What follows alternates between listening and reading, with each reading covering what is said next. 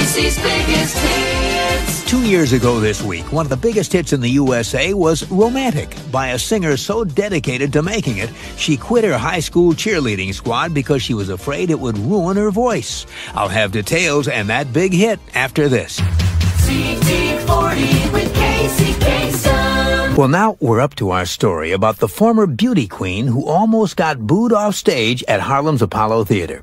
Not because of her singing, but because of her legs. She's 24-year-old Karyn White.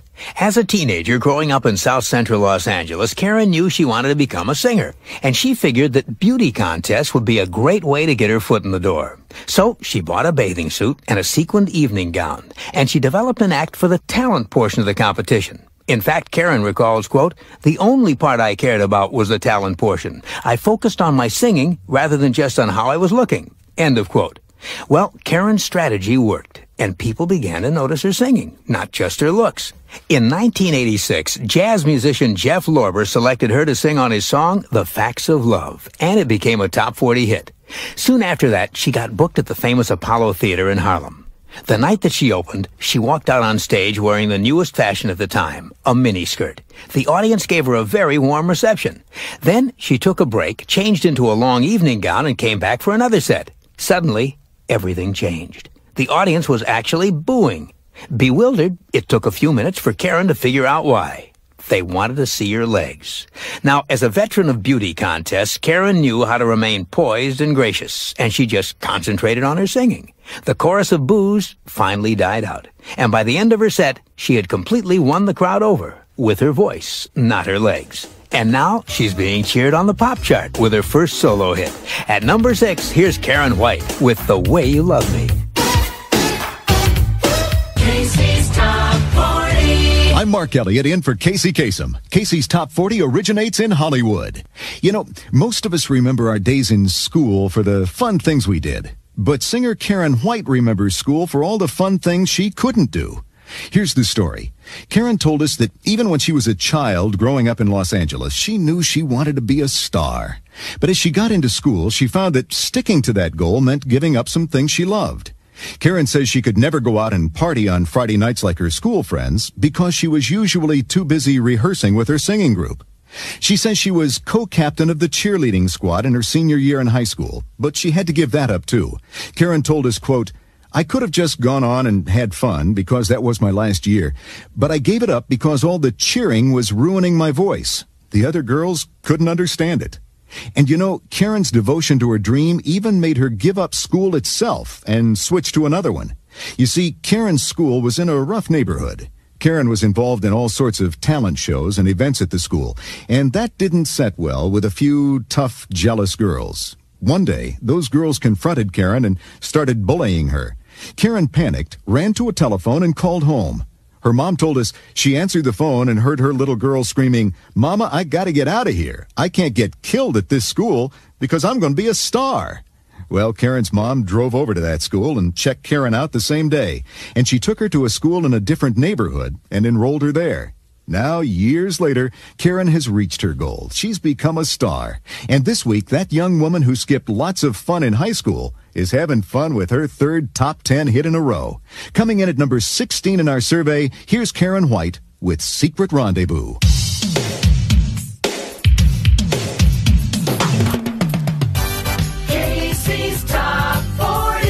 Well, that means we have a brand new number one song in the USA on Casey's Top 40, and it's by a singer who once auditioned to replace Jody Watley in the dance trio Shalamar and was turned down flat. Happened back in 1984 when Shalamar was riding high on the charts. They had big hits with songs like The Second Time Around, Dead Giveaway, and Dancing in the Sheets.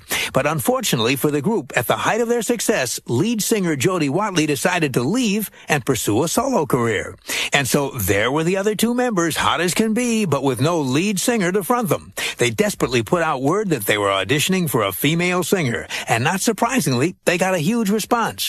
One of the women who applied for the job was a struggling young singer who had done session work for people like Julio Iglesias, the Commodores, and Ray Parker Jr. She was burning to make a name for herself, so she showed up at the Shalamar audition and gave them everything she had. She says she sang her heart out. After she was done, the group said they admired her singing, but just didn't think she had the look they needed. She was pretty, but they wanted flashy and hot. And so they turned her down and hired someone else. Sadly for Shalamar, the group never had another big pop hit and disbanded within two years. On the other hand, the singer they turned down kept on singing and in 1989 had three top 10 solo hits. The Way You Love Me, Superwoman, and Secret Rendezvous. This year she's back in the top 10 and this week that once rejected singer has made it all the way to the top. The brand new number one song in the USA on Casey's Top 40 is Romantic, the first number one for Karyn White.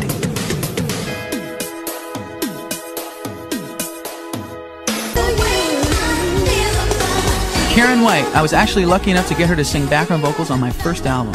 Thanks, Karyn. Now, Karyn's married to one of her producers, Terry Lewis, and I'll bet that cuts down on production costs, if you know what I mean. Anyway, her song The Way I Feel About You moves up from 14 to 11 and could give her another top 10 hit next week, but I guess only the shadow knows. Casey's Top 40. Casey's Top 40s heard in the 50 states and around the world every week on great radio stations like FM 104 KHOP, nonstop hits from Modesto, Stockton, California. The best music mix on B106.3 FM, Nashua, New Hampshire. Hazard's hottest hits, WKIC AM, Hazard, Kentucky. And we play it for you, WCSM FM AM, Celina, Ohio. Dancing down six notches to number 36 is a singer who makes her home in a $2 million mansion on one of Minnesota's 10,000 lakes. She's Karyn White with The Way I Feel About You. Casey's biggest hits. One year ago this week, one of the biggest hits in the USA was a number one smash that inspired the musicians who worked on it to become romantic. Singer Karyn White says she doesn't know what was in the air when she recorded the album called Ritual of Love, but she says the romantic feeling of the music was really infectious. Band members who had been single for years suddenly decided it was time to tie the knot. Others who were already married renewed their vows. Even Karyn herself wasn't untouched by all the romance. While she was working on the album, she got married to her producer, Terry Lewis. One year ago this week, love was still in the air as Karyn White was singing one of the biggest hits in the USA, Romantic. Casey's biggest hits. Two years ago this week, one of the biggest hits in the USA was by a singer so dedicated to making it, she quit her high school cheerleading squad because she was afraid it might ruin her voice. Karyn White was just 15 years old at the time. She had decided at the age of just five that she wanted to be a star like her idol, Diana Ross. And that was what she committed herself to doing. She took singing, dancing, and acting lessons. And when she noticed the cheers she led in high school were roughing up her voice, she gave it up, even though it was something she loved to do. The result was a woman who did what she set out to do. She made it. And two years ago this week, Karyn White had one of the biggest hits in the USA. Here's Romantic.